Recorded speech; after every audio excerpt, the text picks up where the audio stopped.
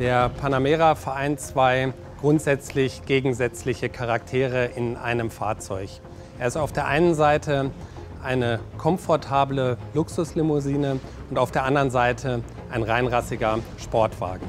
Und diese Sportwageneigenschaften wollen wir auf der Nürburgring Nordschleife unter Beweis stellen.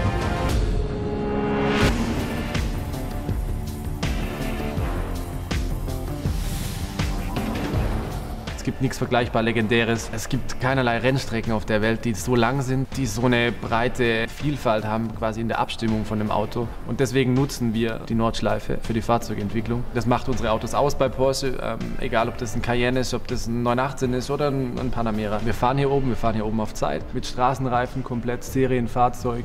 Ich finde, das zeigt, wie sehr wir von unserem eigenen Produkt überzeugt sind. Für die Rekordfahrt wird am Serienfahrzeug lediglich ein Überrollkäfig und ein spezieller Sportsitz für die Sicherheit des Fahrers eingebaut. Ansonsten ist es ein Panamera Turbo, wie der Kunde ihn auch für sich spezifizieren kann.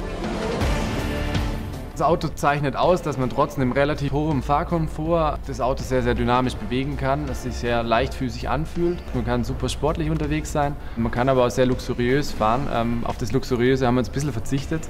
Ähm, die letzten Tage hier auf der Nordschleife, ich war dann mit den Fahrwerkskollegen hier das erste Mal, habe ein bisschen probiert und habe dann auch schon gesagt, ich glaube, das können wir schaffen. Um auf diesem wirklich schwierigen Terrain eine, eine richtig schnelle Runde realisieren zu können, braucht es natürlich ein super abgestimmtes Fahrwerk. Da haben die, die Kollegen von der Fahrwerkentwicklung wieder einen Top-Job abgeliefert. Man braucht ein Fahrwerk und ein Fahrzeug, das dem Fahrer Vertrauen gibt, das Stabilität hat, das Sicherheitsreserven signalisiert, dass der Fahrer hier wirklich maximal performen kann. Die erste Generation war schon Benchmark in der Oberklasse und mit der zweiten Generation wird wieder der Benchmark durch den Panamera gesetzt. Unsere Fahrwerkskollegen verbringen Wochen und Monate hier hier am Nürburgring und man merkt es, wenn man ins Auto steigt, wenn man um die erste Kurve fährt.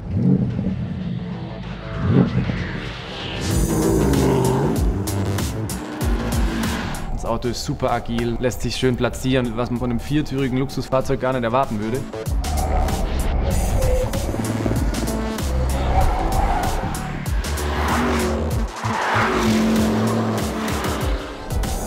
Es gilt das Gleiche wie für den Motor. Es muss fahrbar sein, es muss für den Kunden, für den Fahrer erfahrbar sein und er muss sich wohlfühlen. Für die schnelle Rundseite auf der Nordschleife, wie auf jeder anderen Strecke, natürlich gilt zunächst mal eine maximale Performance in Verbindung mit einem entsprechend breiten Drehzahlband, wo uns auch das maximale Moment zur Verfügung steht. Dann ein entsprechend abgestimmtes Getriebe, schnelle Schaltzeiten. Zum anderen ist es auch ganz sicher das gute Ansprechverhalten vom Motor, in jeder Drehzahl da eben auch entsprechend performant antworten zu können auf den Fahrerwunsch. Der Motor ist eine Wucht, unheimlich viel Leistung, aber auch kontrollierbar. Also das Auto ist vom Drehmomentverlauf von allem sehr, sehr fahrbar und das braucht man auf der Nordschleife, um wirklich schnell zu sein, um das Fahrzeug kontrolliert zu fahren, dass das Auto auch das macht, was der Fahrer will. Dieses Gesamtpaket ermöglicht richtig schnelle Runden hier auf der Nordschleife und das ist ja auch industrieweit der Meilenstein, der Prüfstein, um im Prinzip Fahrdynamik zu belegen.